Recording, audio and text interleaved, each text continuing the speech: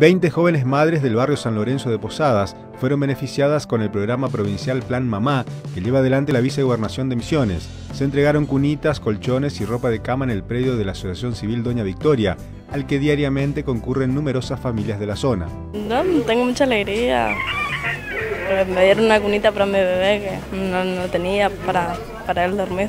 Las gestiones las llevó adelante Inés Seis, vicepresidenta de la Asociación Doña Victoria. Estamos trabajando con la asociación y a través de todo lo que nosotros vamos gestionando nos van dando los apoyos y a través de eso, gracias a Dios, estamos, y gracias a la gestión de la renovación, estamos yendo muy bien hacia adelante. La asistencia forma parte de un programa provincial que se desarrolla con un trabajo articulado entre la vicegobernación y todos los ministerios del Estado provincial. Hay que estar en el momento que la gente necesita, o sea que es ya muchas Muchos no pueden esperar.